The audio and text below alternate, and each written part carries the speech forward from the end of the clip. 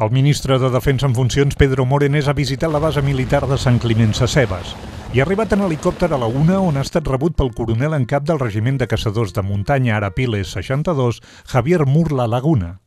Després d'una reunió al Saló Álvarez de Castro, el ministre ha visitat l'exposició estàtica de materials de les diferents unitats dels caçadors de muntanya.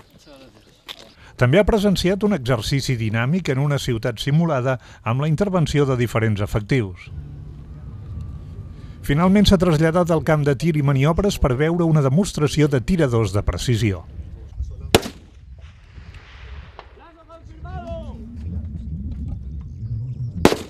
El ministre ha declinat respondre a les preguntes dels periodistes. Poques hores abans havia visitat el Bruc de Barcelona, on havia contestat una pregunta referent als actes del Dia de les Forces Armades celebrat al castell de Sant Ferran de Figueres i on es van veure menors manipulant armes de foc. ¿Pero a usted le parece bien que haya niños de 10 años, por ejemplo, que se vistan con el uniforme militar y que sostengan armas y hagan fotos con ellas? A mí me parece bien que los niños, eh, que los niños, que nuestra juventud y nuestra infancia entienda desde el principio que lo que acabo de decir, que la eh, democracia, que la libertad, que la justicia, que la paz tiene un precio y que hay que defender y pagar ese precio y que ese precio pasa por aquellas vocaciones también que tienen los niños eh, de poder, eh, ¿qué otra vocación más elevada?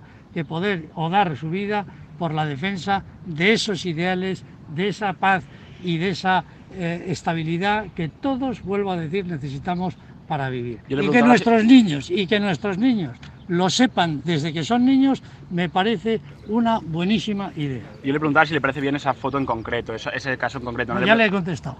no, no me ha contestado. Segunda, siguiente pregunta. La negativa a respondre a les preguntes dels mitjans locals ha impedit conèixer les explicacions del ministre sobre temes com les maniobres militars que han generat moltes protestes veïnals o el robatori d'estelades per part d'alguns militars de la base que es van produir ara fa uns mesos. Yeah.